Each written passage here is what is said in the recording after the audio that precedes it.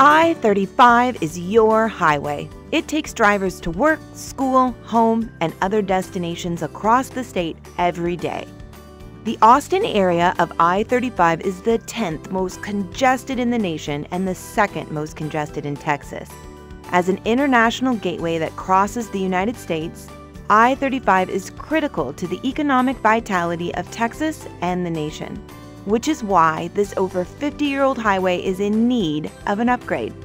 Started in 2011, Mobility 35 is transforming 79 miles of highway to be smarter and more efficient in order to keep traffic moving and support regional growth. We're using a lot of tools to get you going, like express lanes, innovative designs, operational improvements, and bicycle and pedestrian accommodations.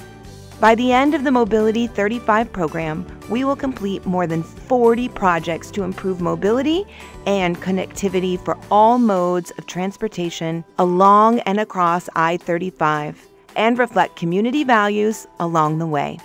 We know you've got to get where you need to go. Mobility 35 is the program to get you there. Stay in the know.